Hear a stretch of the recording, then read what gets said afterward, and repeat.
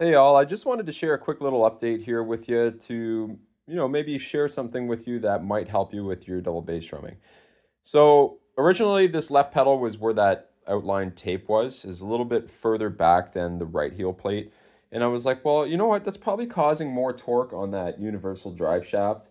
And it's going to cause me to have to play a little bit harder with the left foot because of the loss of power.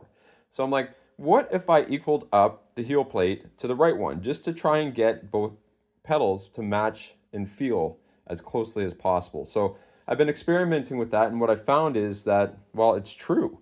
And it's actually a little bit more ergonomic and a lot more comfortable. So if you find your left foot still not quite getting to where you want it to be, then try this out for yourself. Just, again, match the, the heel plate back here with the heel plate on your on the right side or on the main kick drum side.